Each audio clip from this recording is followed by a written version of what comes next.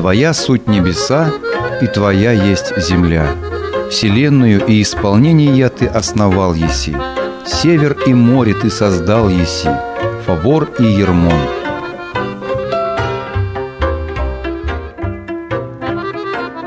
Сегодня кузбасские паломницы отправляются на место преображения Иисуса Христа.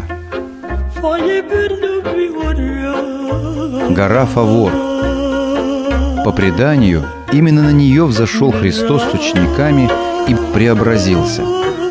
Христос так исполнился неземным светом, что даже его одежда стала блистающей.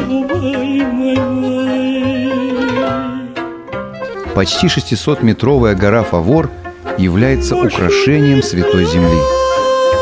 Она видна за многие километры. Подъем на Фавор похож на взлет самолета. Дома и леса убегают назад и вниз, а впереди только небо.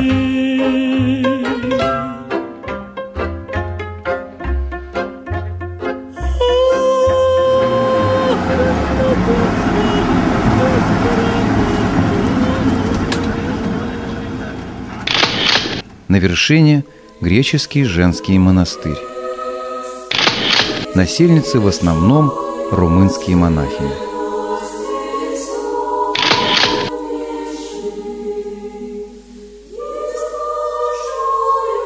Главный храм монастыря трехпрестольный. Центральный предел посвящен преображению Господню, правый предел пророкам Моисею и Илии, а левый Георгию Победоносцу и Дмитрию Солунскому – Строительство храма и монастыря во многом велось на деньги, присылаемые из России.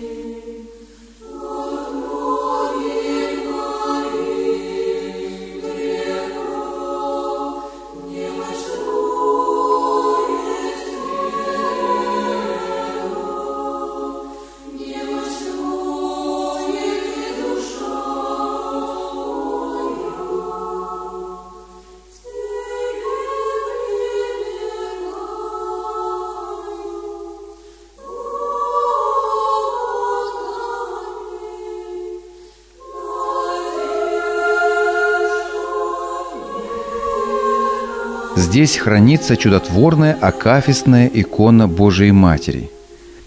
Эту простую черно-белую литографию, напечатанную на бумаге, купил в середине прошлого века грек Георгий, живший на острове Крит.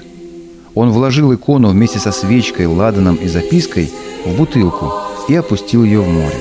В записке Георгий написал, что ему очень хочется, чтобы икона оказалась на Святой Земле и просит молиться за него – когда бутылочку выловили из моря, в 73 году икону передали в греческий монастырь на гору Фавор.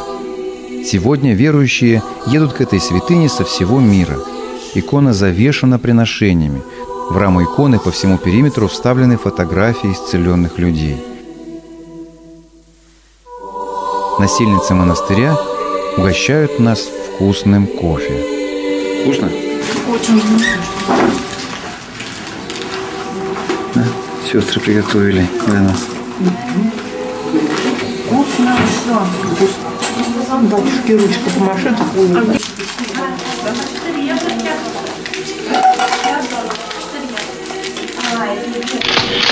Во дворе монастыря мы видим воспоминания о тех кущах, которые апостол Петр предложил Христу сделать на этом месте –